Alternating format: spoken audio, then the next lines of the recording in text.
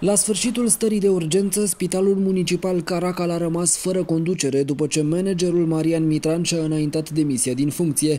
Anterior, același gest a fost făcut și de directorul medical, iar directorului de îngrijiri a expirat delegarea pe funcție. Problema a fost rezolvată ieri de ministrul Sănătății, care l-a numit prin ordin de ministru pe funcția de manager pe medicul Angelo Alen Stegaru. Noul manager al Spitalului COVID-19 de la Caracal este medic specialist radiologie și imagistică. Înainte de a ajunge la această unitate medicală, Angelo Alen Stegaru a fost șef al secției de radiologie și imagistică a Spitalului Județean de Urgență Slatina. Spitalul Municipal Caracal se află de la debutul stării de urgență în administrarea Ministerului Sănătății și urmează să revină sub tutela autorităților locale după 90 de zile de la expirarea stării de alertă.